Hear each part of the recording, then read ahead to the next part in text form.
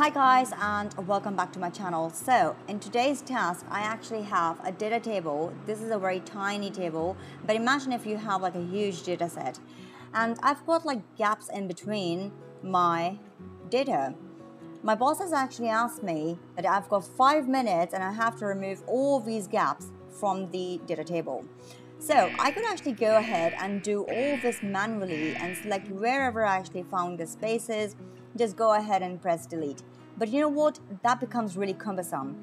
So let me do Control Z, Control Z, and there you have it. Let's select the entire data set, Shift Control downward, downward till I have actually selected all the table, like so. I'm to go ahead now and press Control G.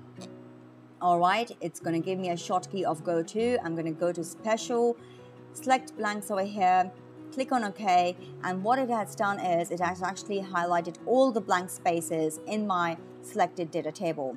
Now I'm going to press Control minus, that's going to open up the dialog box for delete and I'm going to go ahead with option of entire row, click OK and voila! I have actually in a few seconds just removed all my blank spaces.